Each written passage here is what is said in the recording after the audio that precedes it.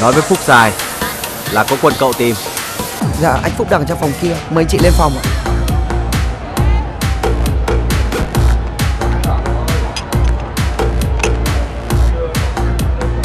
Này Nước cho Phúc Dài được không? Dạ anh Phúc dặn em vậy ạ. Mang đây. Mày ra chỗ khác đi. Dạ vâng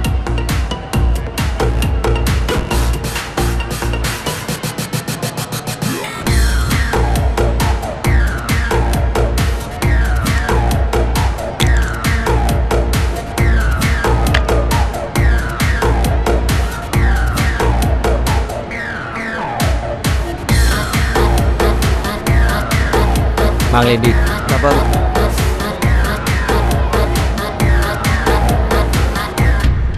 Tôi không tin. Người thân của tôi Không bao giờ làm như vậy. Tuy cô bé thôi.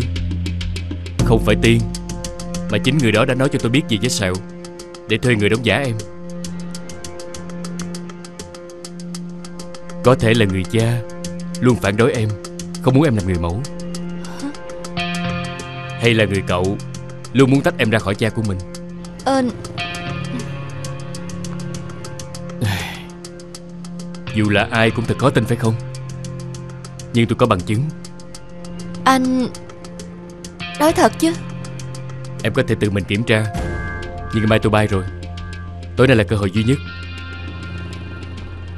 Ngày đó vì bất đắc dĩ. Tôi mới làm chuyện không phải với em. Giờ Tôi chỉ muốn gặp để xin lỗi Nếu muốn làm hại em Tôi đã làm rồi. Hay em hãy chọn chỗ nào cảm thấy an toàn Rồi tôi sẽ đến. Tôi chọn.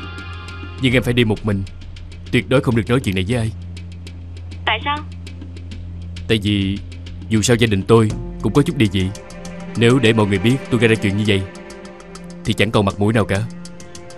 Dạ em cũng đâu muốn người thân của mình bị rêu rao Đúng không Thôi được rồi Tôi không ép em. Em hãy cân nhắc cho thiệt kỹ Rồi gọi lại cho tôi.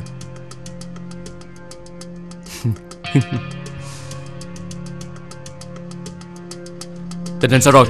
Dạ Nó và một đứa con gái vừa mới lên phòng Sẽ mời nước ngay bây giờ. Tốt Cứ vậy mà làm đi. Giờ Cô em không muốn đi một mình Cũng không được rồi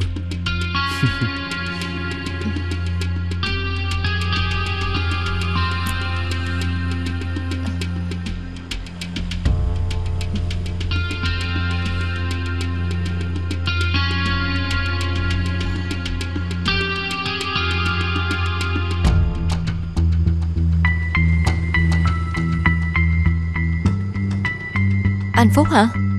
Từ đây. Được. Sao? Cô tính sao? Tôi đồng ý. Này Điện thoại của cậu. Alo, em nghe ạ? Tôi bị mất tích. Thầy Minh vừa gọi điện. Chúng ta phải đi tìm cậu ấy ngay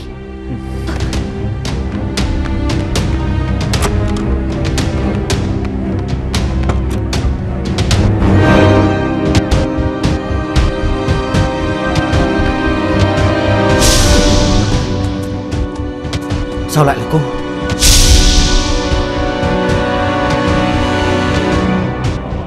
À. Sao thế? Chính là hắn. Cái gì? Kẻ tấn công cậu ở trên đồi. Đứng lại. Đứng lại